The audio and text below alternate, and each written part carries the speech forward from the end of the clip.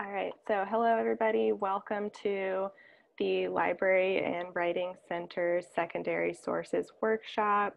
We are really excited today to be talking about some of the resources available to you if you are needing some secondary sources. So first off, we're gonna introduce ourselves. Hi, my name is Carissa Powell. I use she, her, her pronouns. I am a student success librarian and I do a couple of different things, but I mostly work with first year composition students. My email is carissa at utk.edu and you are free to email me about just about anything. Hi everyone, my name is Grace Therrell. Um, I also use she, her pronouns. I am one of the online learning librarians here at UT Libraries. Um, and like Carissa, I also do a lot of things, but um, my main job is kind of twofold. One is creating online learning materials, and then another one is working with students. Um, again, like Carissa, my email is up on the slide. It's gtherrell at utk.edu. Feel free to email me with any questions or um, yeah, any anything you need help with, feel free to reach out.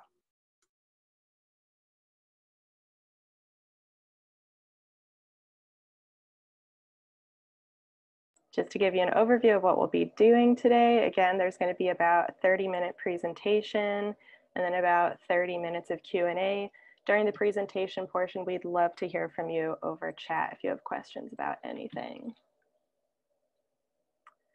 So this is what we're going to be doing today. So we'll be sharing, um, we heard from how some of you felt about research and some stressful feelings, some like unknowns, not really sure what it might look like.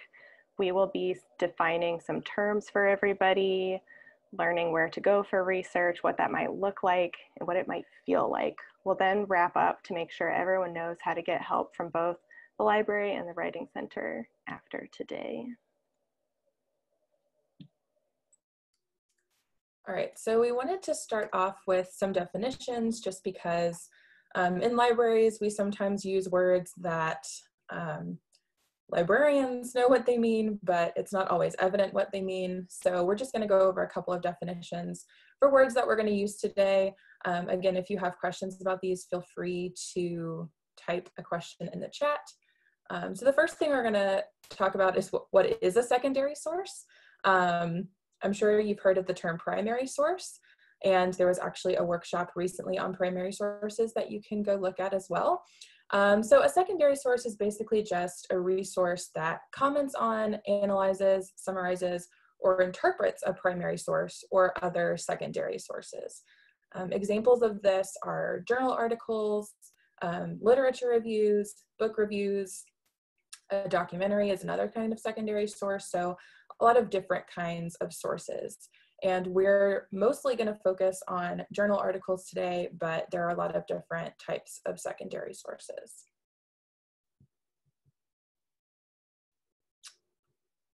All right. The next word we're going to talk about is a database. Um, again, probably a word that you've heard a lot about. If you haven't, that's okay. You will, you will hear a lot about them in your time. Um, so a database essentially is a collection or index of different resources. Um, and within the database, you might find full text of the resource. You might find just a citation of the resource, or sometimes you'll find an abstract, which is basically just a paragraph that summarizes what the resource is about. So a database can have um, all, some, or just one of these um, resources within it. Examples um, are Academic Search Complete, which is actually an example of one we're going to look at today. Um, also databases like JSTOR or Web of Science. There are also databases that work specifically with different kinds of um, resources like statistical data or we have primary source databases. So databases are not just for secondary sources, but those are what we're gonna focus on today. And then finally, um, our last word of the day is a research guide, something else we'll talk about and something else you might have heard of. And a research guide is essentially a collection of information to help with research in a specific context. Um, that could be a specific discipline like English, Um, that could be a specific class like first year composition. Um, so there are different um, kinds of contexts that you might find a research guide in. Examples are we have like a primary resource, a primary source research guide. We have a first year composition guide if you've looked at that at all. And then um, another example like that discipline specific would be like a psychology research guide, which just gives examples of um, kind of getting you started for research, gives you sample databases, journal articles, books you might want to read, things like that.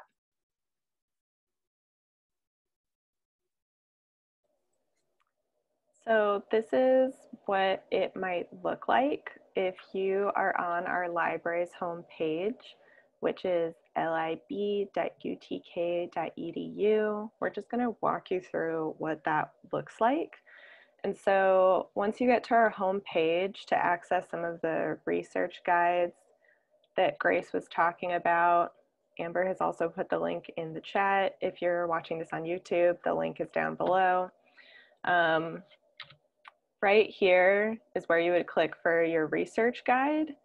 So you can click there and then get to a page that looks like this.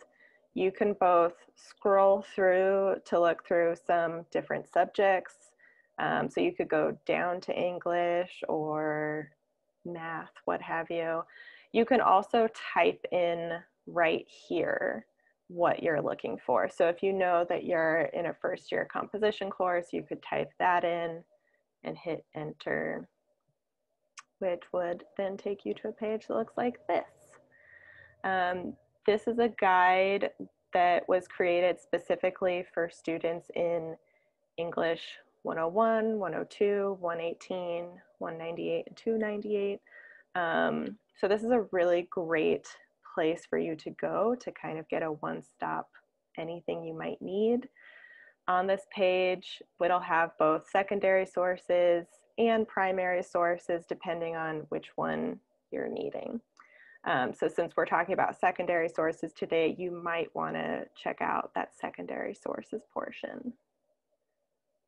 It also has links to a lot of other things you might need for your assignment. So um, definitely maybe bookmark this one. I'm a little biased because it's my guide, but uh, there's also guides for any other class you might be in. The other place to go to get started looking for articles for your secondary sources is back on the library's homepage. So again, lib.utk.edu. And you would come over to, I'm kind of in like the bottom left-hand corner-ish where it would say articles and databases. Very aptly named. So if you clicked there, you would then get to a page that looks like this. And this might be a little overwhelming. There's a lot of links on this page, but I would break it down a couple different ways. We have most popular databases that are, what it really means is they're good general getting started databases. Um, we also have databases by subject. So if you know you're doing something very subject specific, you can click there. Um, I would also recommend this general topics getting started page. That is also really great. So there are a lot of different databases. I would maybe recommend not clicking on the complete list of databases. It's going to be really overwhelming. Um, and I would really much more recommend going through some of the more popular ones or the getting started topics.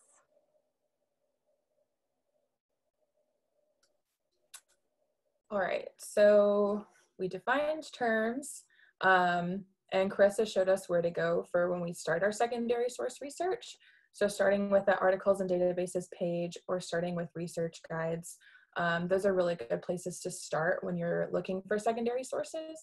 And now we're gonna transition a little into what the research experience looks like. So if you're just starting out, if you're wanting to find a basic secondary source or you're wanting to see what's out there, what is that actually going to look like in practice? So um, I'm pretending that we're starting from the articles and databases page, which you just saw. Um, and like Carissa said, there are lots of different options here for the type of database you want to use. Um, but we're going to look at Academic Search Complete. That's over on the left-hand side of the page. Um, and this is like it, like it says one of our more popular databases and it's interdisciplinary, which means that there are a lot of different kinds of disciplines that are going to be represented in that database. So you'll find secondary sources from a range of subject areas, not just like psychology or anthropology or um, business or something like that. So if we clicked on that, this is what our page would look like. Um, so this is what the page, this first search page for Academic Search Complete looks like.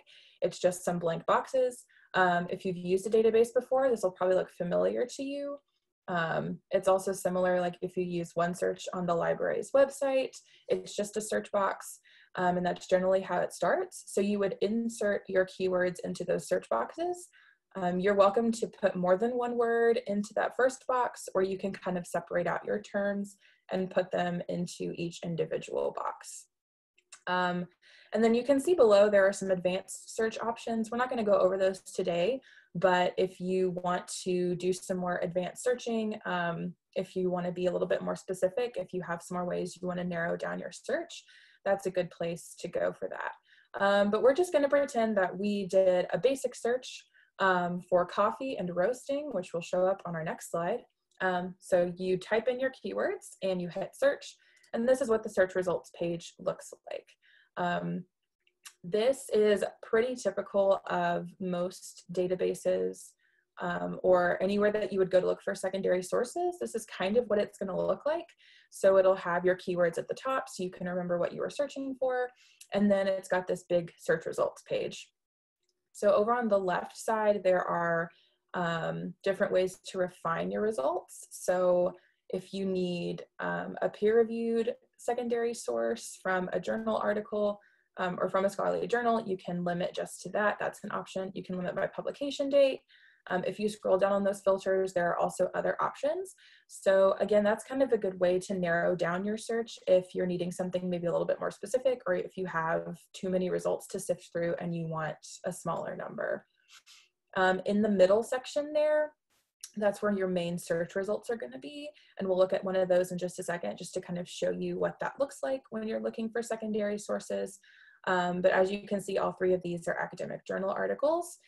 Um, the search results, it's going to give you the title and then it'll tell you the authors.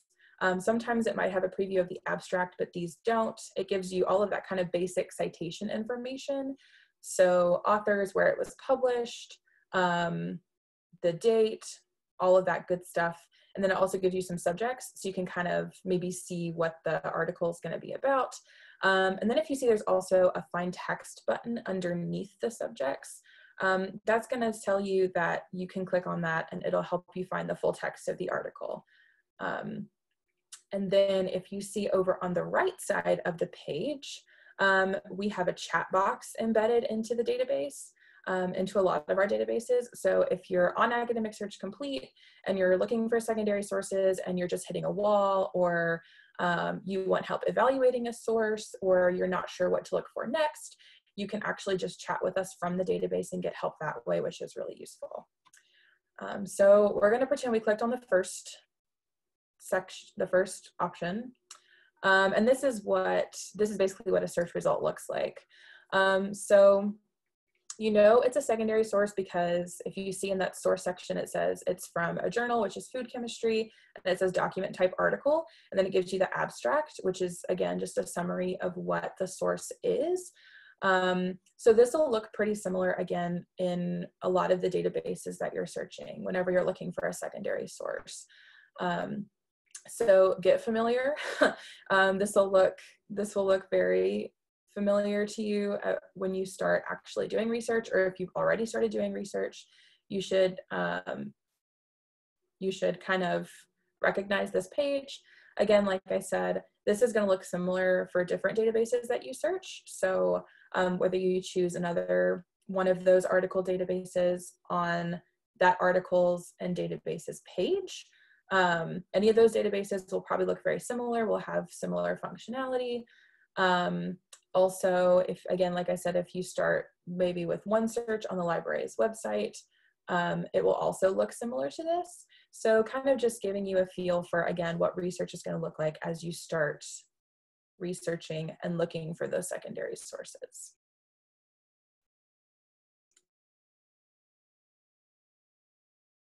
So now that we have talked about the process of what some of these terms are, where to go, what it might look like, I wanted to make sure we talked about what research might feel like. And these are all like feelings that I have felt when I do my own research.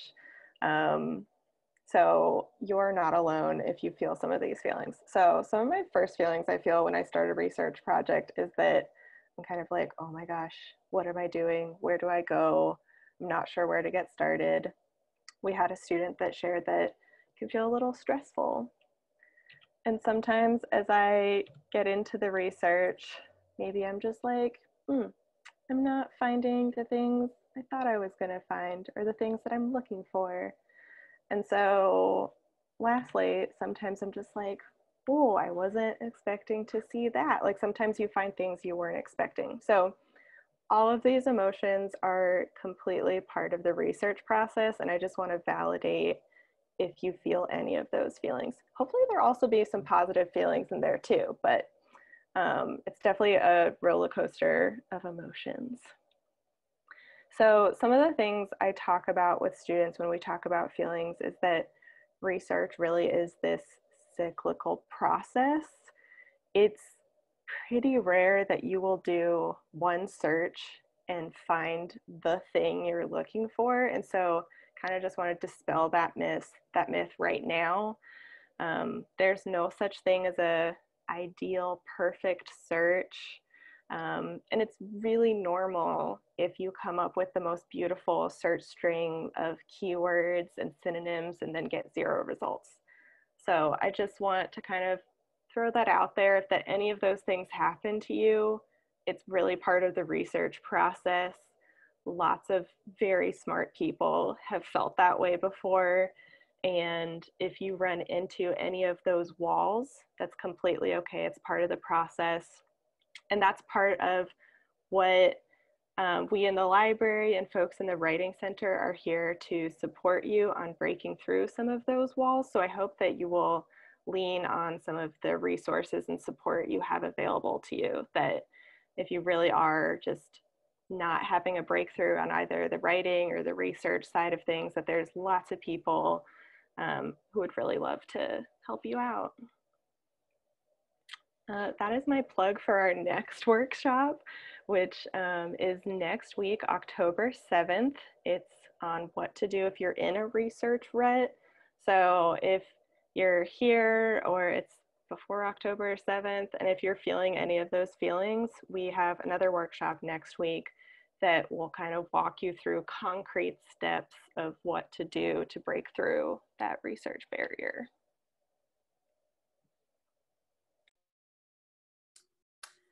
Yeah, please come um, next week. It's gonna be it's gonna be a great time.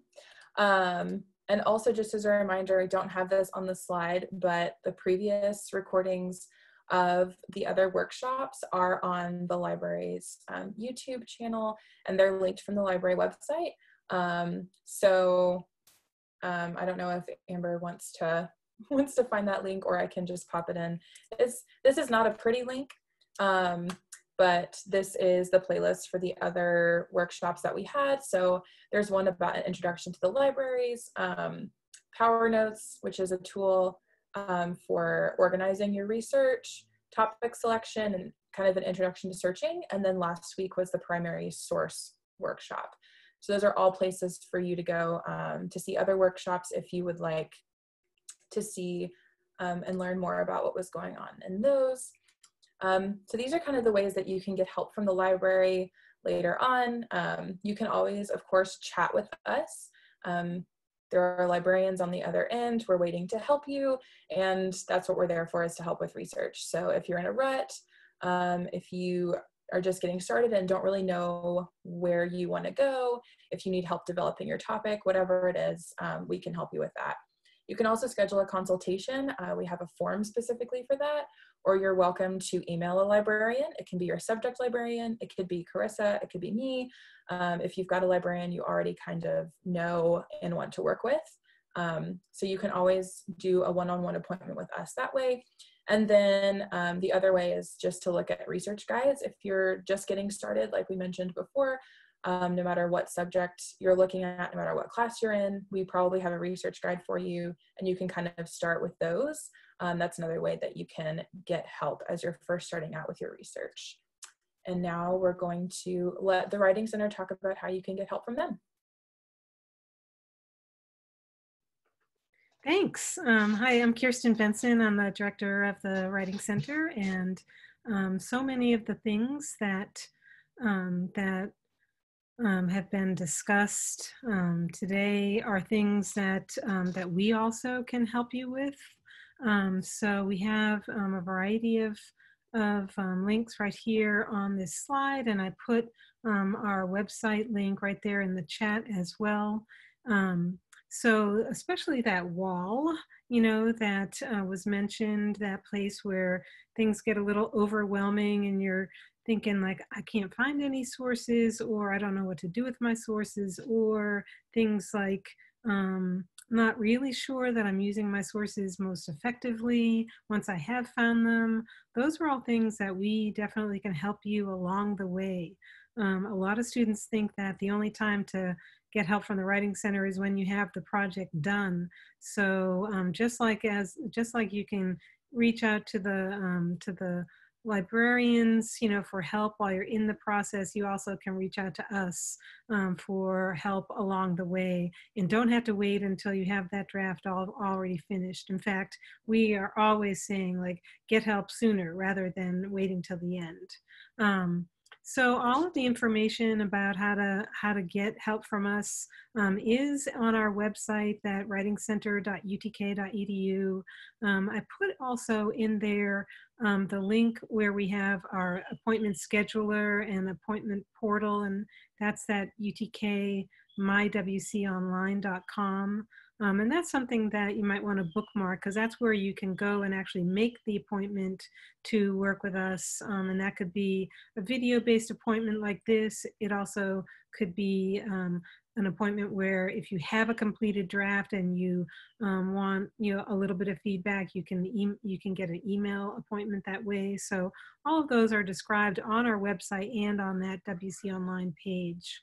Um, and um, off of the Writing Center page, there's a link about how to make and attend appointments. And it kind of gives you a step-by-step instruction for, you know, how to register for a free account on that WC Online and then how to how to make the appointment, how to show up for the appointment and everything. And um, I would say that um, one of the main things um, also is, um, and this is also in the chat there too, um, you can, if you have any questions at all, like oh, I'm not sure how to make an appointment or something like that, all you have to do is email us, writingcenter at utk.edu, and um, we try to be really prompt in responding to, to student inquiries. So uh, lots of ways that you can reach out to us um, and, and get help on, um, you know, like on, on things that you're working, working on.